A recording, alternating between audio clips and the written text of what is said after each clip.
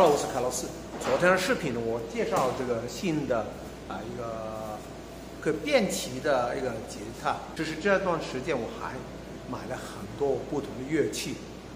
为什么呢？很简单，本来我到这个新的学校任教的是设计与科技，但是想不到呢，领导跟我说，啊，每个星期的课节不够，那他要我兼任教音乐。他还问我愿不愿意。大家知道我本来就是一个音乐老师嘛，所以肯定没关系。但是又因为两年前我把我大部分的乐器都放在我珠海斗门的家里，为什么呢？因为我觉得我退休之后都是尽量在内地去玩音乐吧。当我把我的乐器都放在斗门家之后，疫情就来了，两年之间我都没有到过我的家。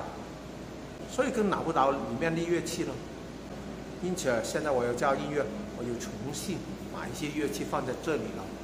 早几天我到了船湾啊一个地方，买了一件二手的萨克斯，给大家看看。很多人问我为什么要买二手的，啊，就是因为我只会用它几年嘛，我有一支在斗门嘛，所以我现在买这一支，其实是跟我斗门那一支。同一个型号的，那这个乐器已经有十九年的历史了，可是你看呢，它还是新的一样。这是雅马哈的 YAS 三十二，我觉得是蛮好的，二手价会不过是七千五港币啊。我曾经在视频说过，萨克斯有很多不同的型号，这一个称为中音萨克斯，英文叫 alto saxophone，啊，也是我最喜欢的，因为啊，次中音太大了，啊，比较重，还有这个低音更重，而这个高音萨克斯不是曲的，是直的，我也不喜欢，因为太高音了，我最喜欢就是这个型号。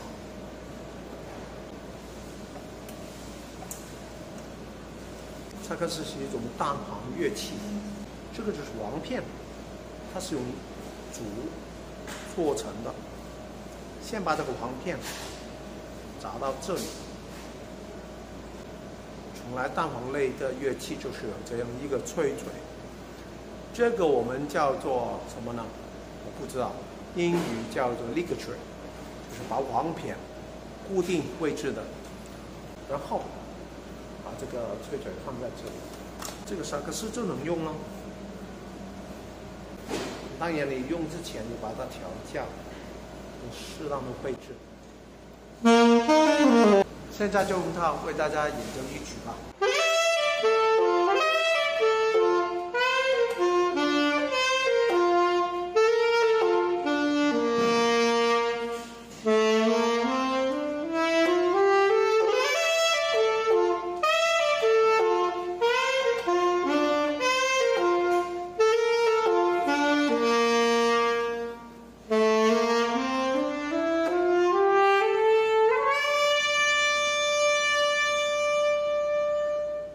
好了，希望将来有更多机会跟大家谈这个萨克斯的理论。